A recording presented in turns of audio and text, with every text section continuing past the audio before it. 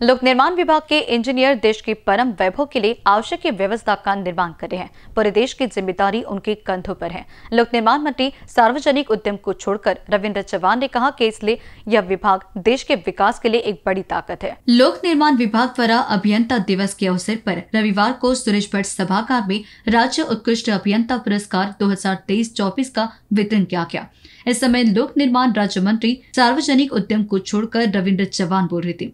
लोक निर्माण विभाग की अपर मुख्य सचिव मनीषा पाटनकर मैस्कर, लोक निर्माण विभाग के सचिव सड़क सदाशिव सालुंकी सचिव भवन संजय दशपुते, सचिव सतीश कोलीकर, मुख्यमंत्री ग्राम सड़क योजना के सचिव सतीश चिकलीकर महाराष्ट्र राज्य सड़क विकास निगम के संयुक्त प्रबंध निदेशक राजेश पाटिल के अलावा बुनियादी ढांचा विकास निगम के सचिव विकास रामगुड़े लोक निर्माण विभाग, नागपुर क्षेत्रीय विभाग के मुख्य अभियंता दिनेश नंदनवार, अधीक्षण अभियंता जनार्दन भानुसे और राज्य भर के निर्माण विभाग के अधिकारी और इंजीनियर उपस्थित थे।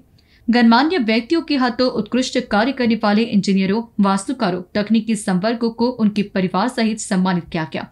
इस अवसर पर सर्वश्रेष्ठ प्रोजेक्ट के पुरस्कार वितरित किए गए। रविंद्र चौहान ने केंद्रीय मंत्री नितिन गडकरी को इंफ्रास्ट्रक्चर मैन बताते हुए इस विभाग में उनके काम की सराहना की। चौहान ने कहा कि एक इंजीनियर के रूप में कर्तव्यों का पालन करते समय काम में त्रुटियों का ढूंढना उन्हें हल करना, योजना बनाना और फिर उत्पादन करना उद्देश्य होना चाहिए। सम्मानित इंजीनियरों एवं कर्मचारियों को बधाई देते हुए डॉक्टर सदाशिव साड़ुंकी विश्वेश्वरिया ने कहा कि उन्होंने अपनी कल्पना और दूरदर्शिता से देश को नई दिशा दी है। हमारे विभाग और डॉक्टर के सामने कई चुनौतियाँ होगी उन्होंने विश्वास जताया कि विश्वेश्वरिया की प्रेरणा से हम उन चुनौतियों का आसानी से सामना कर लेंगे।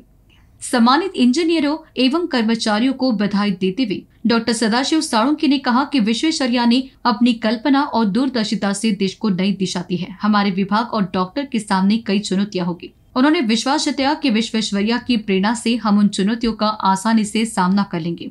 संजय दशपते ने कहा कि नई परियोजनाओं के लिए सर्वश्रेष्ठ प्रदर्शन करने वालों को हर साल सम्मानित किया जाता है। यह कार्यक्रम विभाग में नवनियुक्त पंद्रह सौ इंजीनियरों को कड़ी मेहनत करने के लिए प्रेरित करेगा।